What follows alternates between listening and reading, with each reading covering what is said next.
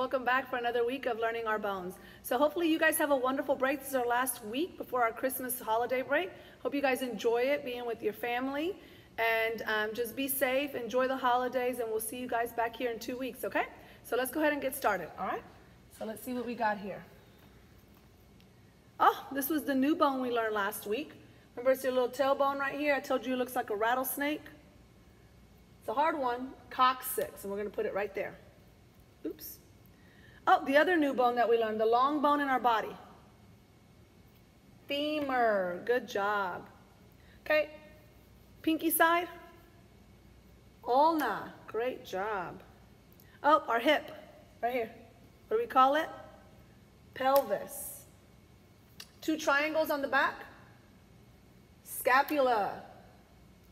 All right, middle of our spine, right back here. I know it kind of looks like the ribs, but these bones right here, which vertebrae? Thoracic. Remember I tell you how many there are based on uh, breakfast, lunch, and dinner? So this would be lunchtime. How many? 12. Yes, 12. Okay? Bone that protects our heart.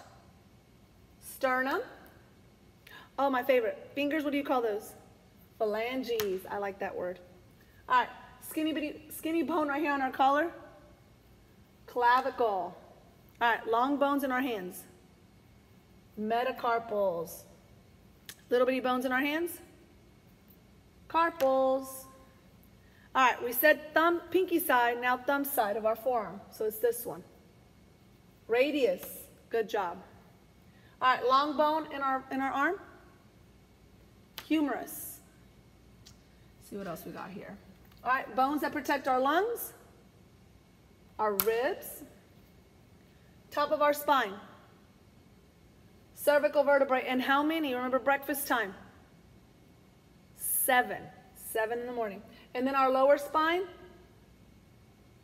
lumbar vertebrae. Good job. And there are, it's dinner time. It's early dinner. Five. Okay, good job. Five.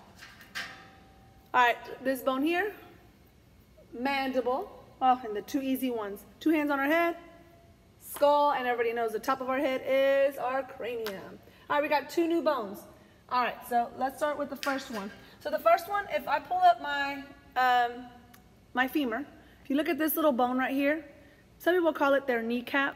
The real medical name is patella, okay?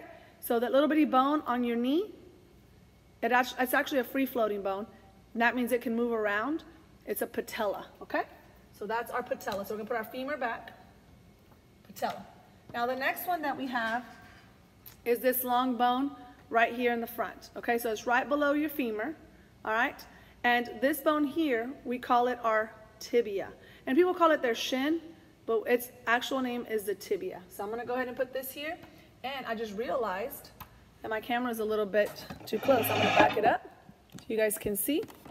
And then there is our tibia right here, okay? So patella and tibia. All right, Gators, thank you so much for joining again. I hope you guys are enjoying learning your bones. We are almost done, guys. We only have, if you can see, four bones left, and then we're going into our muscles. So again, have a Merry Christmas, and we'll see you guys later. Bye, take care, Gators.